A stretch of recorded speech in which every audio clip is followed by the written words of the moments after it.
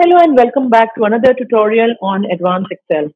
This is Trisha Jagtiani and today I will take you through another advanced chart and that is the waterfall chart. Waterfall chart is a special type of chart that represents how initial value is affected by increase or decrease in the subsequent values leading to a final value. This can be very useful chart when you want to show inventory throughout a particular period or show profit or loss and the net income post all expenses, etc. Waterfall chart is also called as the bridge chart in Excel because it connects each data type with a line. Let's look at the chart. Before we start, please be mindful that this chart was added to Excel in Office 2016 version. However, in this tutorial, I will also cover how to create a waterfall chart in the older version of Excel. So let's begin and see our example sheet here where I have the income or the expenses data given to me along with the amount of the income or the expenses that I have um, earned or incurred is given next to the category. Looking at this data, it starts the revenue, which is 32,201. Their last net income after the deduction and addition, the net income comes to 18,537. Now, I want to show this in a chart. In order to do that, if you have a 2016 or a higher version of Excel or the later version of Excel, it's very simple. You just need to keep your cursor on the database, go to the insert, and here under the chart section, you will see the waterfall chart directly, or even you can go to the recommended chart.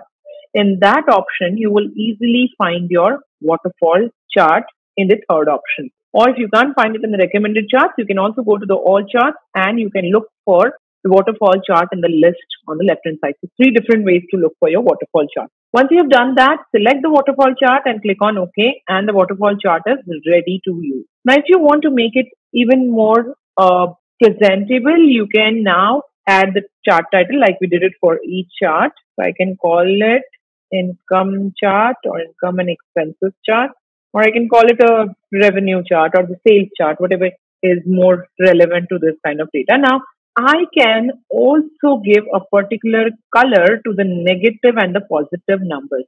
Now you can see that it automatically picks up two colors, which is the blue and orange, but you can change the color if you want to. But let's start and see the first part of this, which is the revenue 32,201, which is, is a positive number, but it is actually the initial value. So I will change this initial value to call it as a total so that it looks it or, or it shows in a different color. So I'm going to go to right click and format data series. And you can see that on the right hand side, the format data series window is showing up. Under that, uh, the under series options, you can see gap width, show connector lines. These are your bridge, why we call it a bridge. If you see that there is a connector line between. If you remove this grid lines, you can easily see those connector lines. Let's remove our grid lines and see what are those connector lines. You can see the connector lines here. This, this is the reason why it is called as a bridge chart. Now moving back, I'm going to show you the data series. So I want to change this into total or show it in different color. What I'm going to do is ideally I can manually go and pick the colors by going, selecting that particular bar and then going on to to the format option and selecting the right color that I want to add to shape fill and add the color. But this is still not going to be the total. It will, so what I'm going to do is I'll select the bar which I want to add it as a total. Once you select the bar which you want to change it into total, you will see that in the series option, you can see set as total. As soon as you click on that, it will automatically change the color and it will start from the zero. Now, this number was anyway starting from zero, but you see the next number, it is showing that it is a negative number. If you want to change the color, you can do that by just selecting that, go on to format shape fill and change the color to maybe red or any other color that is more suitable or that you want to add to. Going to the next one, you can do it again red because we are keeping all the negative numbers as red and the rest all blue. 5000 is let, let it be blue 21928 which is your gross margin again the problem with the gross margin is this is actually the next income that means 32201 which was the revenue out of that we have deducted these two numbers added 5000 and this is a total again so i'm going to select this again and show that as a total so now you will see that it automatically goes on to the zero it starts from a zero and becomes like this is a total again you go back to the next one which is this number and need to show it as red. So I'm just going to keep that as red. Let's take the next number, which is again the taxes. So that is a negative number. I'm going to put it as red. The last one again is going to be your total. So just set it as total and it automatically goes down. Starts from the number zero. Now, if you look at this uh, data or look at this uh, uh, chart, you can easily identify that this is actually your start number. These are your negative and this is your positive and these are all the totals that you are looking at. So it's very simple to create a chart or a waterfall chart in Excel 2016 or the later version. However, if you want to create the same chart in the previous versions of Excel, which is 2013 or the previous one, then it becomes a little challenging because we don't have that chart with us. So then what do we do? Then we will have to create separate calculation. I'm going to cut this paste and uh, cut this chart and put it in another sheet so it doesn't disturb us here. Now I'll go back to the sheet and let's create a calculation where I'm able to use this data to create my waterfall chart. So I'm going to select this, copy and put it in another cell because my original chart is linked to this. So I'm not going to change this database. I'm going to call this income expenses. Now comes my base data or the initial data that you want to call it. Then I'm going to put up the increase or the decrease. So I'll say increase, decrease. So I have to calculate all these amounts and the final value or the total. If you want to call it, call it a total as it is shown in the waterfall chart. That is also fine. Now, now that I have this data, I'm going to calculate it in such a way so that gives me the initial value with the increase or decrease that has happened in the value. How am I going to start? Very simple. First, I'll take this value and put it in the total column. Now, I need to check whether there is an increase or the decrease. So let's begin with the decrease value. So I'll use an if function to identify if there is any decrease in the value. How will I do that? I'll say if this value, which is J3, is less than or equal to 0. So if it is less than 0, that means it is negative. I'm trying to say if it is negative, then give me minus of J3. That means if it is a negative number, the minus minus will become positive. Comma, if it is not negative, give me 0. I do not want to know if it is not negative. Now I can drag this value down to get the result. You can see that all the negative numbers are now showing in positive. That means it is showing that these are all the decrease values. Moving on to the increase value where I'm trying to understand if there is any increase in the data. So then just opposite of the decrease value that we had calculated, I'm going to do if this is greater than zero. That means it is there is some positive value, then give me J3 or give me zero. So where there, wherever there is a positive value, it will automatically give me that data.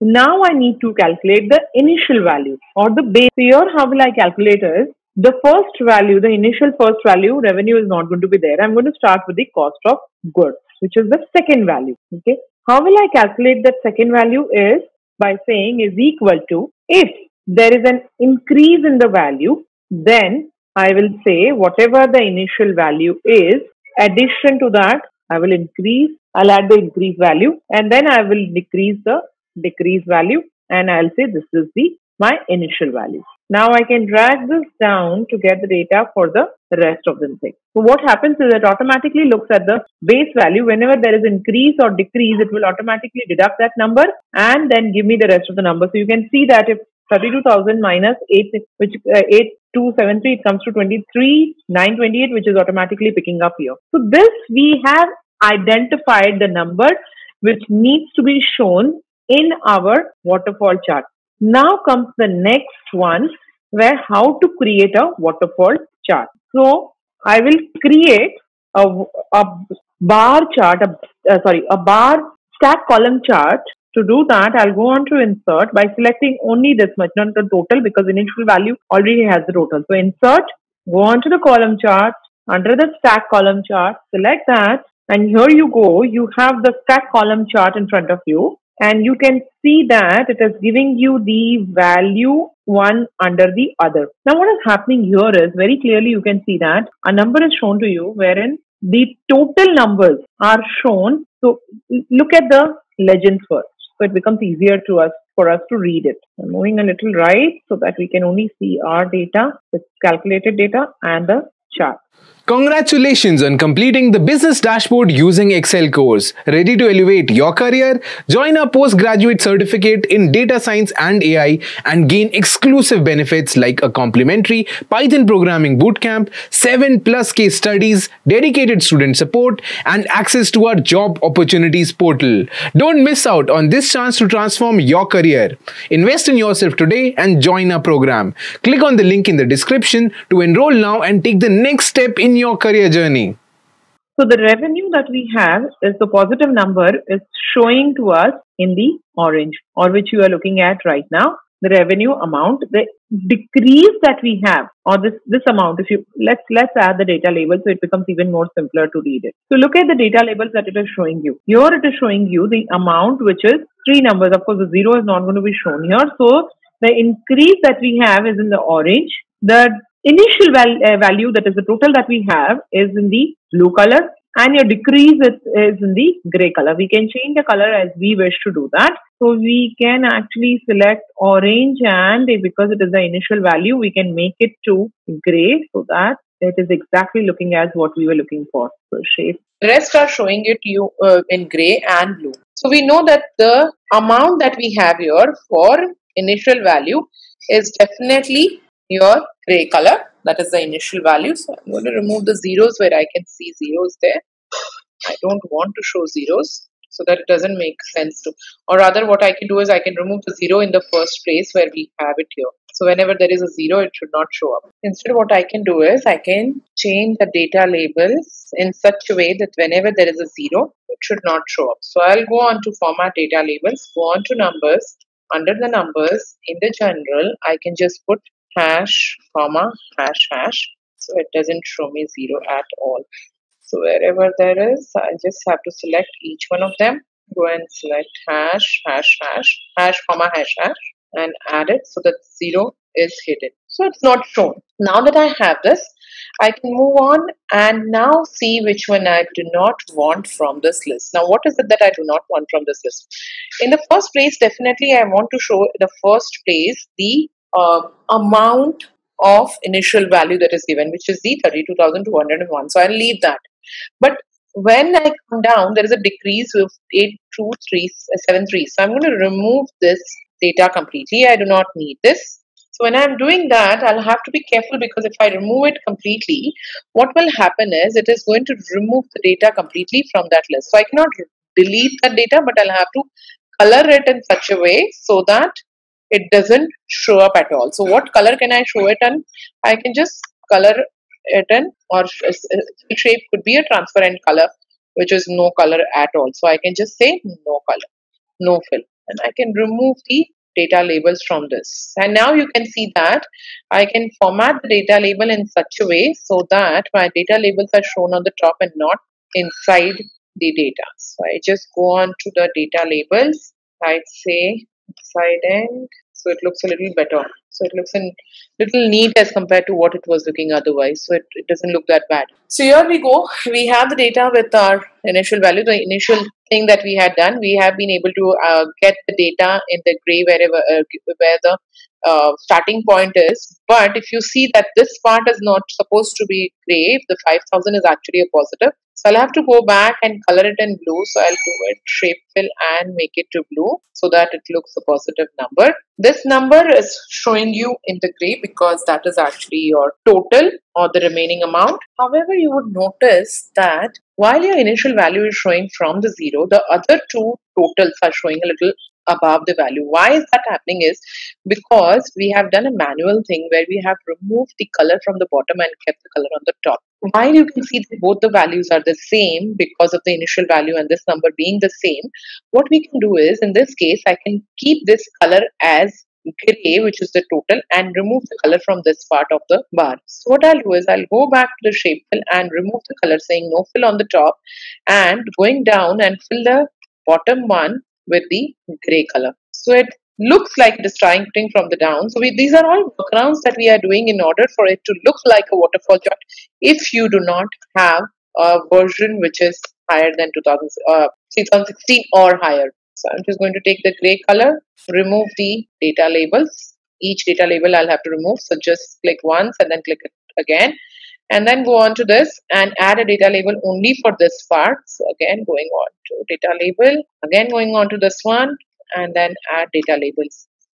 Once you do that, here you go it looks like exact waterfall chart now you can add the chart title you can uh, also remove the grid lines and make it more presentable so this is how you can create your waterfall chart if you have a 2016 version and if you do not have a 2016 version also these are just the workarounds that you are looking at and it looks exactly like your waterfall chart that we had seen there. Hope you found this useful and keep watching for more of such uh, advanced chart videos which we are going to show you. And thank you for watching